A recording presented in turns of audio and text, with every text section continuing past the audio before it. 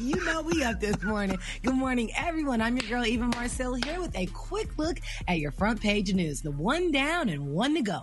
Reverend Raphael Woo. Warnock won the Senate runoff election against Republican Kelly Loeffler. The Ossoff Perdue race has not yet been called, but we have our fingers crossed. Now, as of early this morning, 98% of the votes were in Democratic Jon Ossoff's way, which means it was a very narrow lead, but he is leading as of right now.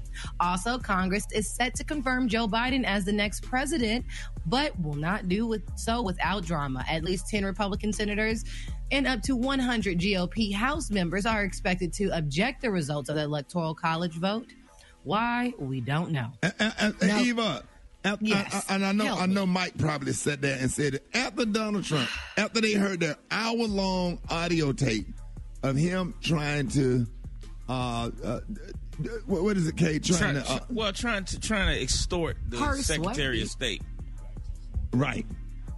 After that, you still going to sit up there and say that Donald Trump should be should be I mean, president? He, he, has no shame. He has literally no shame at all. At some point, you just got to tap out, and that's not where he's at. Right. Speaking of tapping out, super, super sad day yesterday when I read this, Rickey. Yesterday, 3,775 people died from the coronavirus here in the U.S. That is the highest one day number of death tolls since the pandemic began. Think about how many people, that's almost 4,000 people in one day.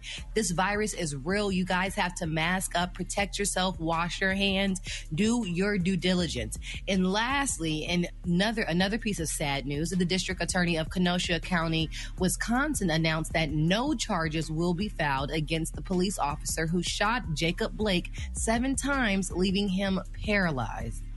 All right, that's what's going on in news. For more, log on to the Rickey Smiley Morning Show.com.